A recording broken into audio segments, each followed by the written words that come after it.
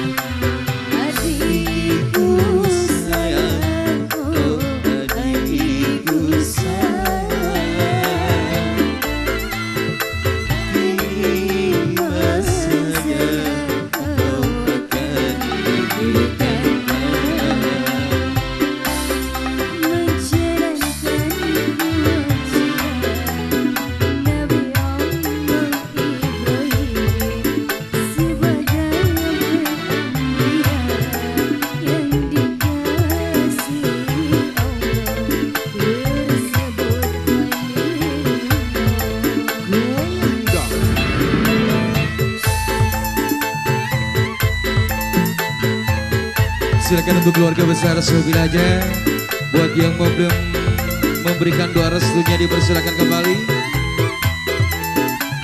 Terima kasih